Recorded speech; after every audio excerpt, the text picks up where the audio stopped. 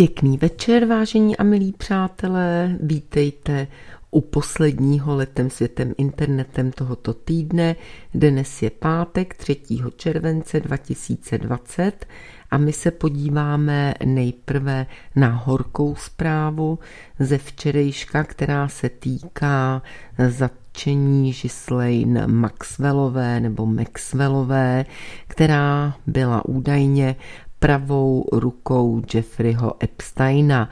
No a teď se na amerických serverech objevily zprávy o tom, že Ghislaine Maxwellová by měla být umístěna v té samé věznici v New Yorku, kde Jeffrey Epstein spáchal údajně sebevraždu. dailymail.co.uk dokonce přinesl informace o tom, že Maxwellová bude jmenovat jména, tak to přesně je to uvedeno v titulku článku, přislíbila údajně spolupráci s FBI, což je zlověstnou zprávou pro prince Andrewa a tím pádem i pro celou královskou rodinu, ale nejen pro ně. De facto oni jsou hlavou hydry, dá se říct, hlavou těch bažin, takže celé bažiny americké státní elity, všichni, kdo páchali nebo se podíleli na těchto zločinech, na všech možných formách a způsobech zločinů, tak jistě teď prožívají oprávněně nebo oprávněné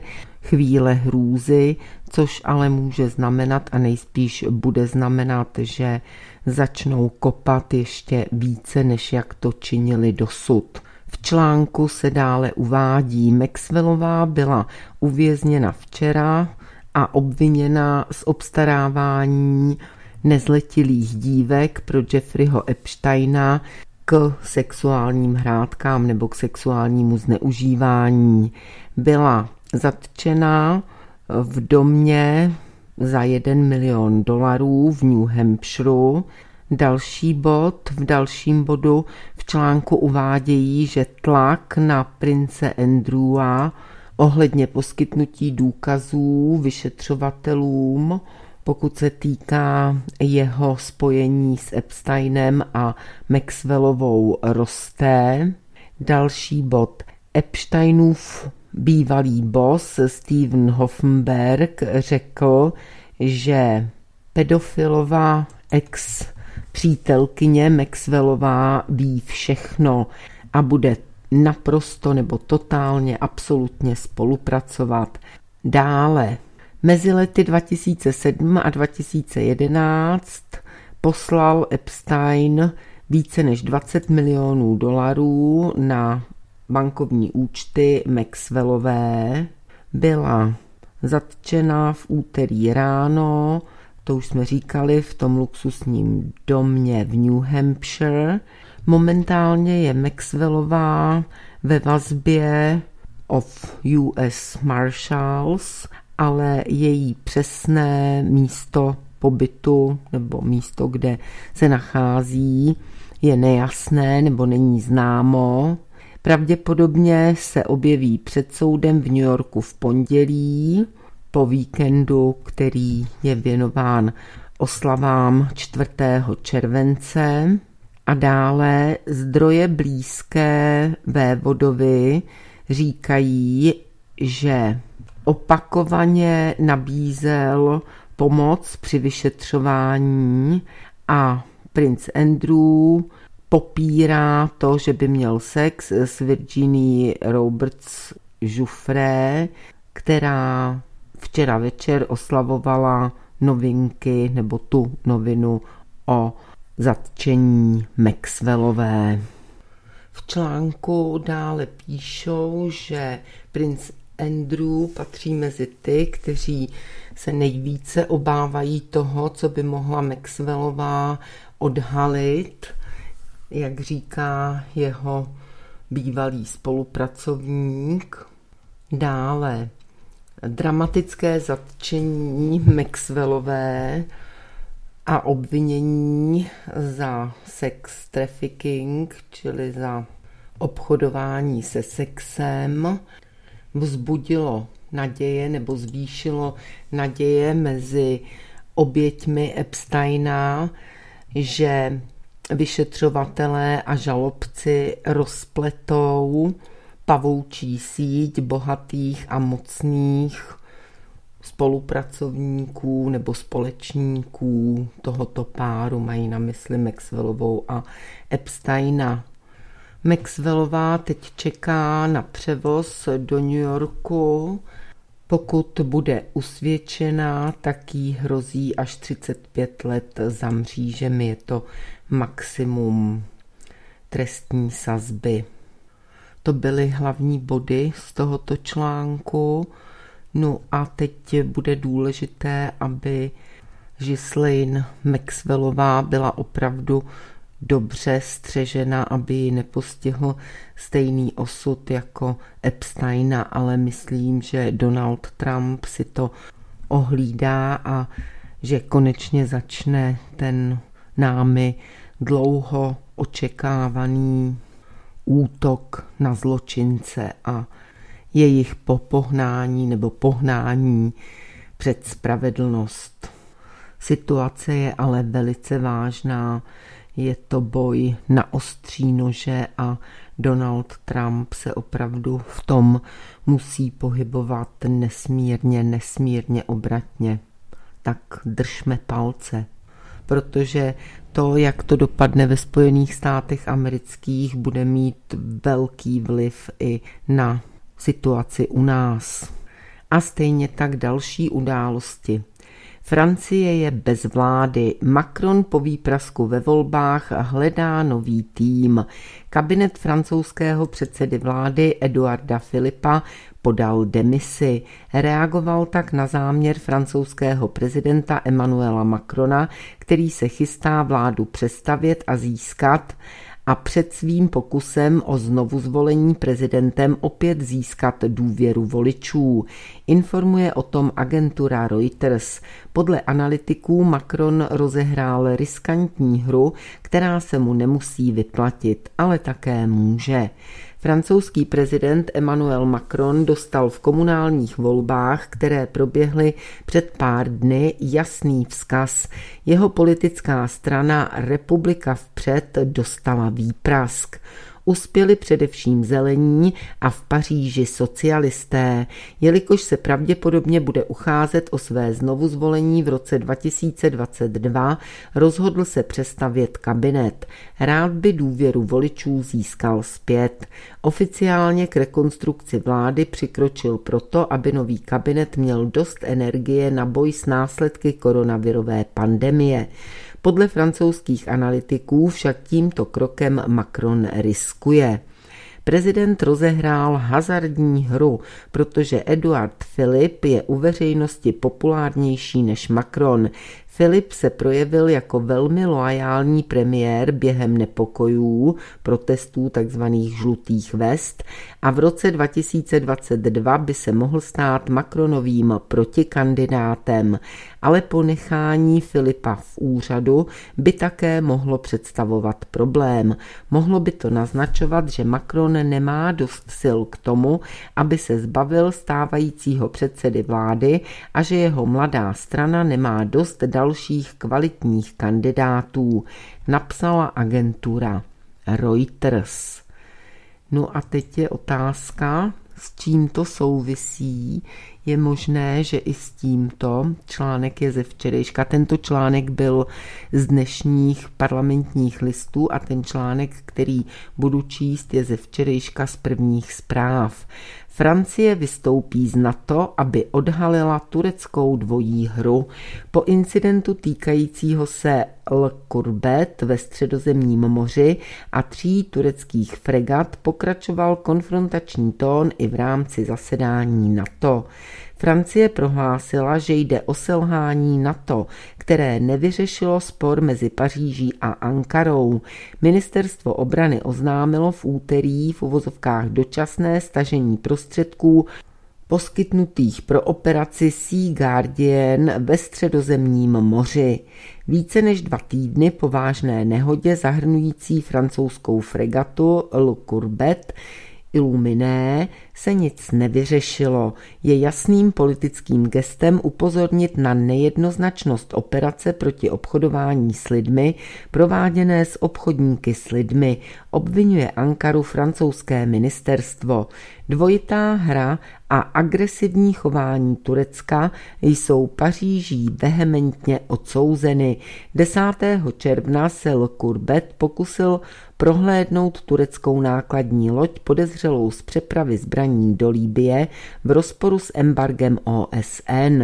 Nákladní loď byla doprovázena třemi tureckými fregatami, které byly spojené s operací NATO. Loď se odmítla podrobit.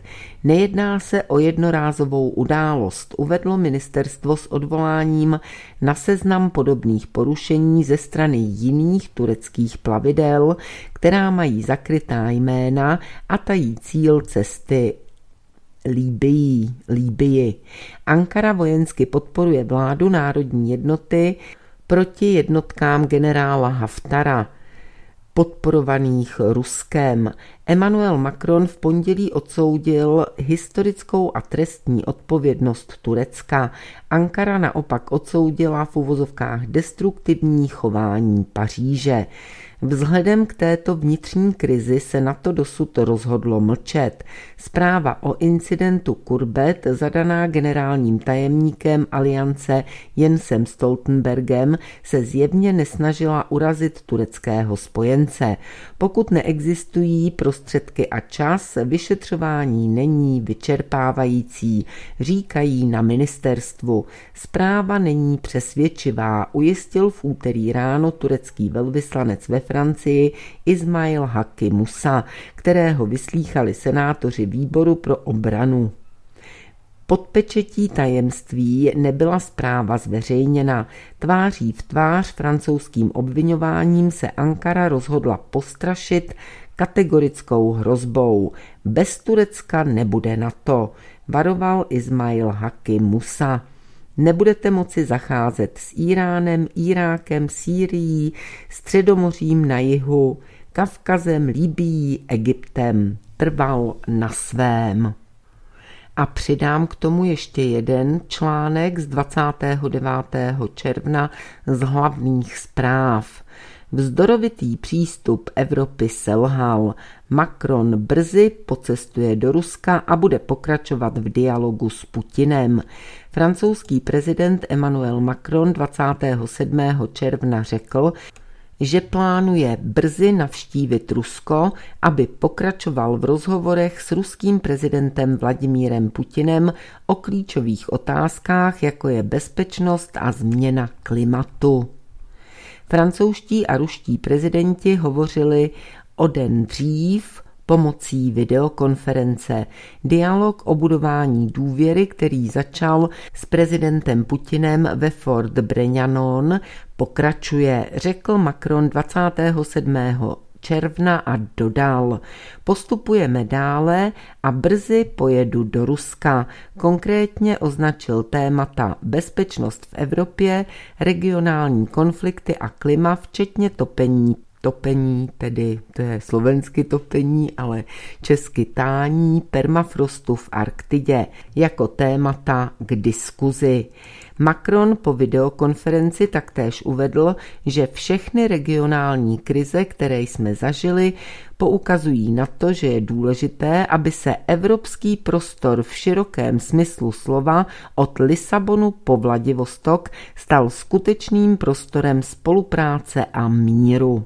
To je vynikající toto, ale nevím, jestli je to v zájmu globálního prediktora, který Emanuela Macrona, jenž byl původně pod řízením neokonů nebo amerických státních elit, tak globální prediktor ho zejména prostřednictvím Donalda Trumpa přitáhl pod svoje vlastní řízení, ale nevím, jestli se vytváření prostoru od Lisabonu po Vladivostok, které prosazuje nyní Emmanuel Macron globálním elitám. Líbí, řekla bych, že spíš ne. Ale myšlenka je to vynikající a de facto by se jednalo o spolupráci Evropy a Ruska, což je, jak víme, staletou nebo tisíciletou pomalu už to trošku přeháním noční můrou všech elit, v úvozovkách elit, které chtějí zotročovat lidi a vysávat je do morku kostí a tak dále. A v tomto případě se jedná o všechny evropské národy, které by profitovaly ze spolupráce evropských států s Ruskem a které velice tratí, pokud je tato spolupráce soustavně nabourávána nebo pokud to jsou dokonce mezi evropskými národy a Ruskem vyvolávány války. Jenom ještě poznámka, ten projekt od Lisabonu vytvoření Evropy nebo spolupráce od Lisabonu po Vladivostok, ten byl naposledy zmiňován Žakem Širakem, potom to všechno utichlo a začíná se o tomto projektu znovu hovořit až teď a na světlo světa nebo do pozornosti veřejnosti jej vytáhl právě Emmanuel Macron. Pokračujeme v článku. Macron zdůraznil, že je velmi důležité rychle znovu spustit iniciativu zaměřenou k ukončení konfliktu na Ukrajině. Vztahy mezi Moskvou a Západem jsou už déle, delší dobu na bodě mrazu a Macron je jeden z mála politiků Evropské unie, který chce tento stav změnit. Macron vyzval Evropu a NATO, aby přehodnotili své strategické partnerství s Moskvou a naznačil, že vzdorovitý přístup Evropy selhal. Francouzský prezident měl už delší dobu v plánu Moskvu navštívit. Chtěl se zúčastnit přehlídky na Rudém náměstí u příležitosti 75. výročí vítězství druhé světové války nad nacistickým Německem, avšak kvůli pandemii koronaviru se těchto oslav nakonec nezúčastnil. Autorkou článku je Andrea Lopatková tak to byly zprávy z Francie.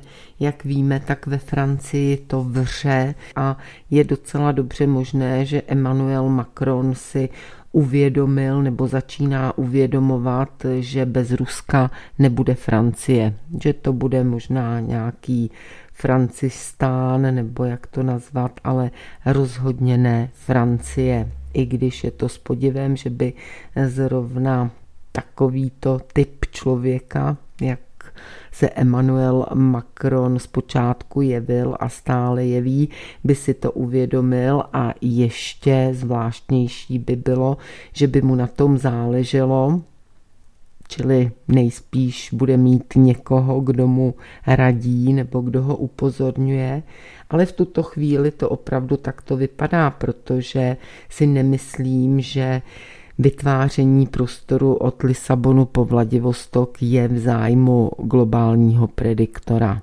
Není. Jenomže globální prediktor zase na druhou stranu už si nemůže vyskakovat ani zdaleka tak, jako to činil celé zhruba tři tisíce let, ne déle. A poté, co Rusové odhlasovali změny ve své ústavě, tak se jeho prostor dále zmenšuje. Tak uvidíme, jak to bude pokračovat dál. Teď se podíváme k nám a bude to prostřednictvím blogu Ladislava Větvičky. Tetičko, nevíš něco o mamičce a tatíčkovi?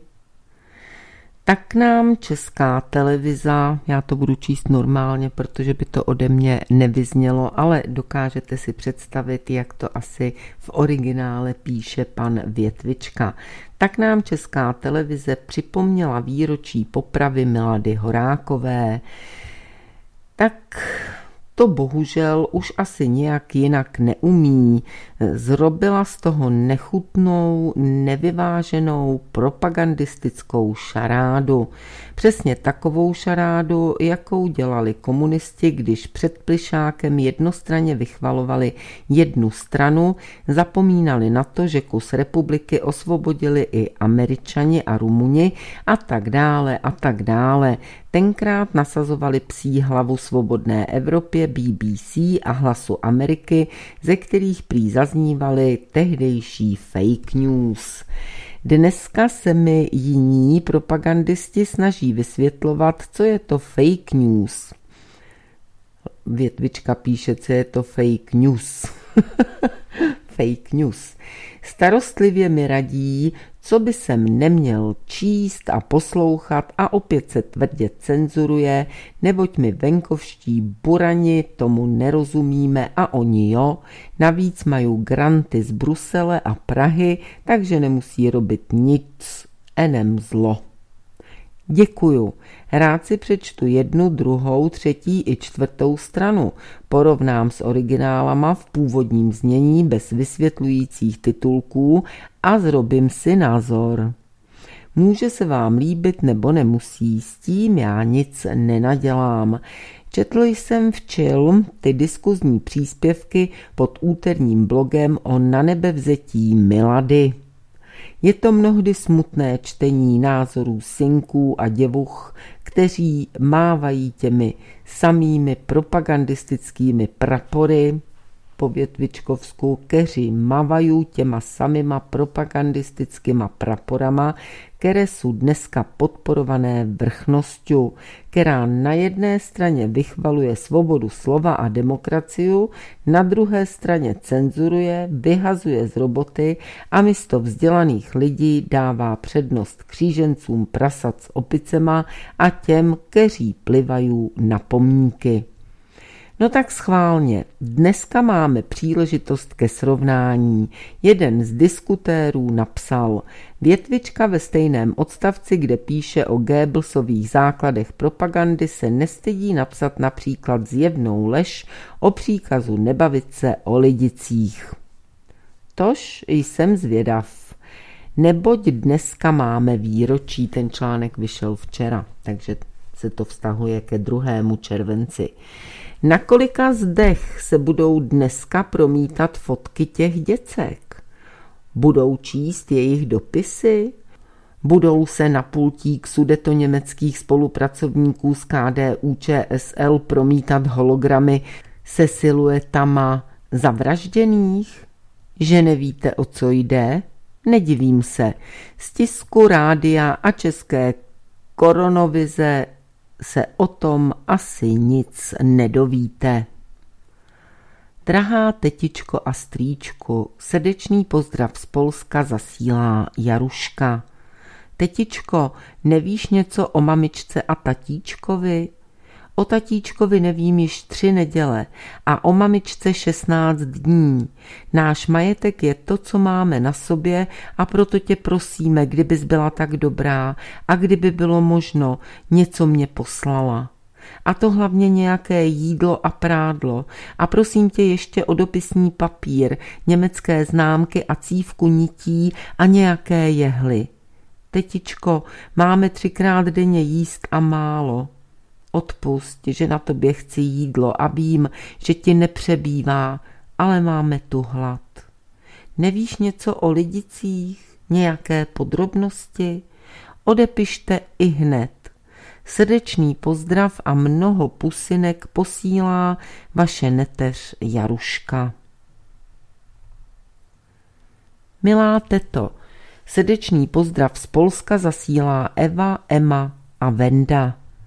Jsme zde bez maminky a bez tatínka, jsme zde jen o jedněch šatech a proto vás prosíme, zdali byste nám něco neposlala, nějaké staré střevíce. Byla byste tak laskava a poslala nám kousek chleba nebo nějakou buchtu. Vše rádi přijmeme. Eva tu již zase stonala a již se uzdravila, ale za moc to nestojí. Vy jste zdrávi a pohromadě? Jak se vám daří? Ještě jeden pozdrav a prozbu, kéž byste nám něco poslali a to co nejdříve, neboť nevíme, jak dlouho budem na místě. S pozdravem s Bohem Eva Kavková, Emma Venda. Děti dostali papír, pohlednice a psací potřeby 30. června 1942 a hodní němečtí onklové v uniformách je vyzvali, aby napsali svým příbuzným. Další den byly dopisy opravdu odeslány a následujícího dne 2.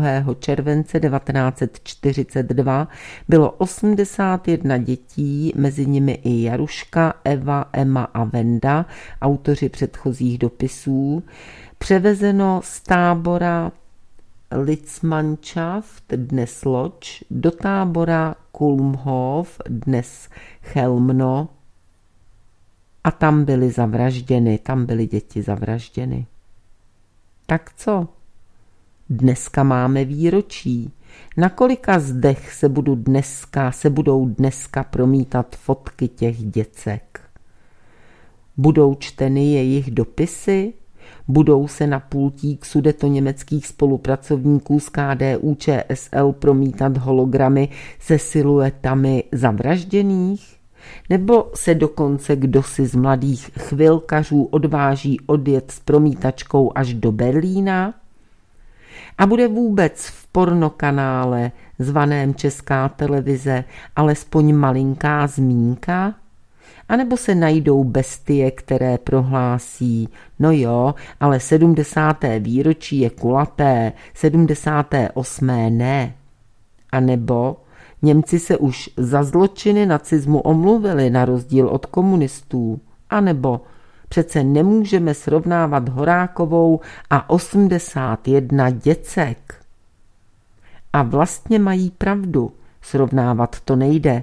Horáková byla podle tehdejších zákonů agentka cizí mocnosti.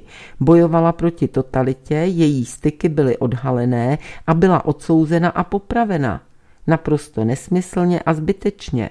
Provedl to český komunistický totalitní režim. Že to bylo svinstvo, to dneska přiznávají už i dnešní komunisti. Což ovšem Miladě a její dcerce moc platné není, že? 81 lidických děcek, jejich smrt si připomínáme dnes, další přibyla v následujících dnech, neprovedlo nic ani podle tehdejších zákonů. Přesto byla všecka děcka zavražděna. Provedl to německý nacistický totalitní režim. A schválně věnuje tomu výročí česká porno koronovize tolik prostoru jako výročí Milady? Asi ne, že nebo ti ovládla nová, ničivá levičácká síla. Všechny zločiny je třeba připomínat, jak ty národně socialistické, nacistické, tak internacionálně socialistické, v závorce komunistické, tak i ty dnešní multikulturně socialistické, i když zatím jenom ničí sochy a zapalují auta a obchody. Ovšem národní a internacionální socialisti též začínali cenzurou, neškodným pálením knížek a vyhazováním lidí z práce. Bohužel netrvalo dlouho a pálili se i lidi a lidi záhadně vypadávali z oken. Tož tak. Ladislav Větvička Skvělý článek a pěkná vzpomínka od Ladislava Větvičky. Vzpomeňme také na chvíli na ty děti a to srovnání bylo velice trefné. Myslím, že to nepotřebuje vůbec žádný komentář. No a pojďme do Moskvy, ale zároveň i k nám. Moskva žádá OBSE prověřit, jak Češi plní závazky v boji proti nacismu. Článek vyšel dnes na serveru pravda.sk. Rusko vyzývá Česko, aby dodržovalo mezinárodní závazky v boji proti neonacismu a apelovalo i na struktury Organizace pro bezpečnost a spolupráci v Evropě OBSE, aby v této souvislosti posoudili dění v České republice. Podle agentury TAS to uvedl stálý představitel Ruska při OBSE Aleksandr Lukaševič. Žádáme české orgány, aby dodržovaly mezinárodní závazky, a to i v oblasti boje proti rasismu a neonacismu. Uvádí se v prohlášení.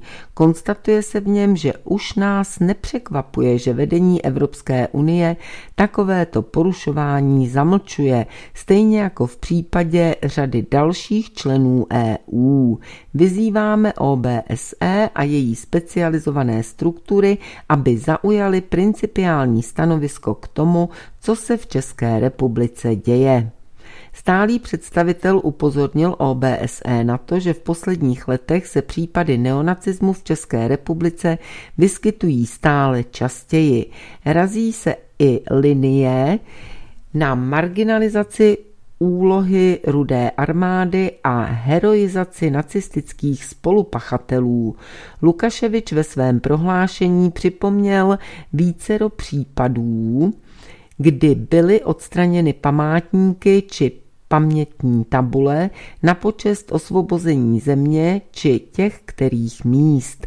Mnohé další podobné objekty se staly terčem opakovaných útoků vandalů prohlášení se také zmiňuje, že specializované struktury na ochranu lidských práv v rámci OSN, hlavně výbor pro odstranění rasové diskriminace, zaznamenávají v České republice i šíření rasistických stereotypů a předsudků vůči menšinovým skupinám, a to hlavně prostřednictvím internetu a sociálních sítí.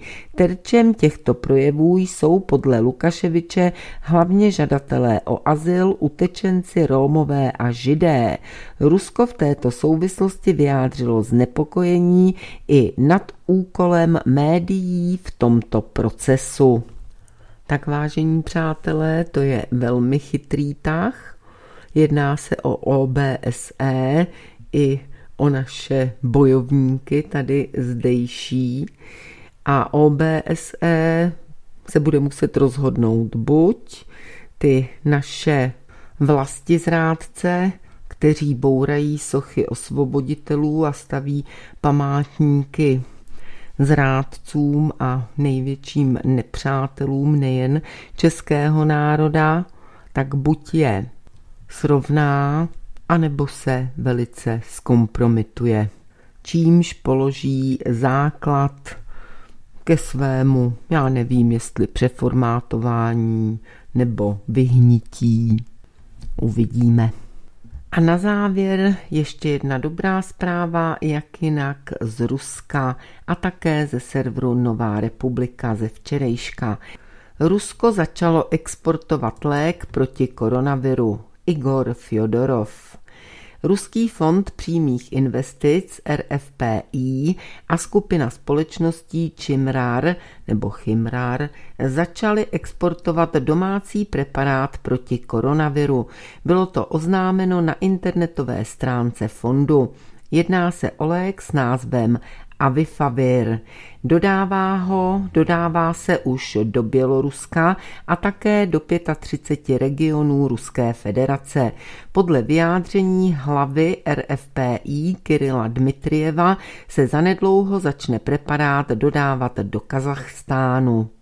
Dmitriev rovněž připomněl, že USA se rozhodly nakoupit skoro 100% vyrobeného remdesiviru a omezit tak přístup k léku jiným státům. Vzhledem k tomuto faktoru a také deficitu efektivních preparátů na světovém trhu bylo rozhodnuto zahájit zahraniční dodávky Avifaviru. Vedoucí RFPI zdůraznil, že ruský preparát je několikrát levnější, vyrábí se v tabletách, což zjednodušuje jeho podávání a umožňuje to uskutečňovat terapii v rané fázi nákazy koronavirem. Klinické zkoušky Avifaviru proběhly na konci května a prokázaly svou účinnost v boji s COVID-19. Hlavní působící látkou v tabletě je favipiravir, upřesňuje televizní kanál 360.